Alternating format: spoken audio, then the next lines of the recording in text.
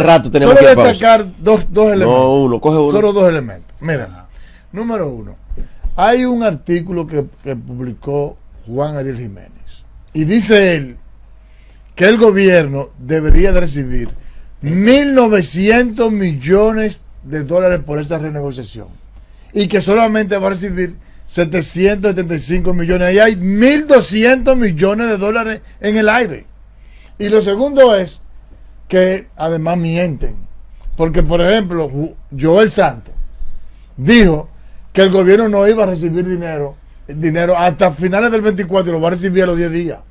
Y además dijo, y otro tema, finalizando con este tema, Corre. hay un peaje sombra ahí, que le pusieron equilibrio económico. Lo hay. Ok, entonces también, no solamente que eh, eh, el, eh, eh, se, se están enfumando 2.250 millones de dólares, sino que también en este nuevo contrato el gobierno va a tener que poner cuarto cuando, cuando no haya beneficios. Bueno, lo- los beneficios, Pero ¿y qué robo los beneficios del contrato se- Nosotros No. en Diálogo Urgente, Robinson puso ese tema.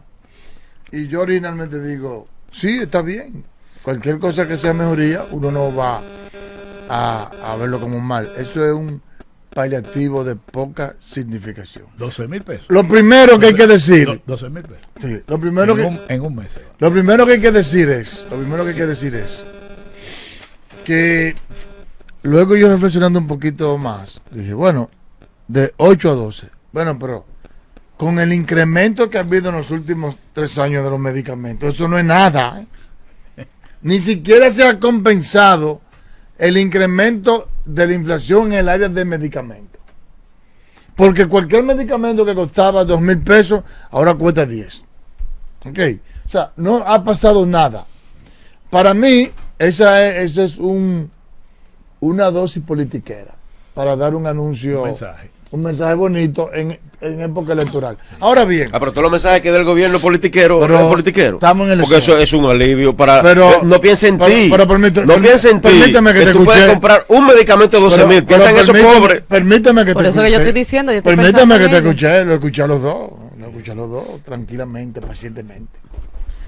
Reitero, basado en el incremento, en el incremento de los medicamentos, eso no compensa, esos, esos 4 mil pesos no compensan el incremento que ha habido en los medicamentos.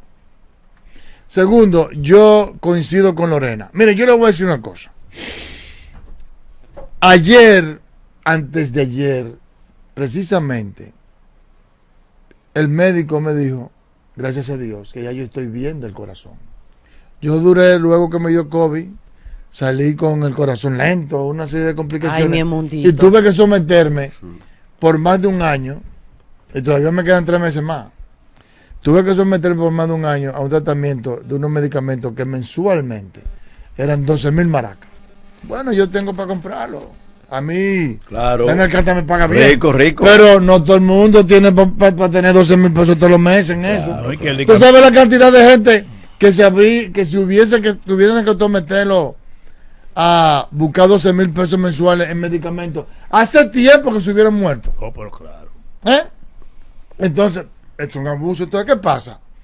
Yo vuelvo, aquí hablamos, yo voy a hacer un poquito de historia.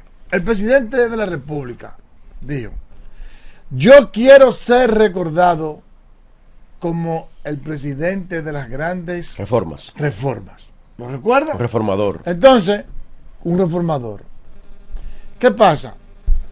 Él al año, al año de su gestión presidencial hizo un evento pomposo en la parte frontal del Palacio Nacional.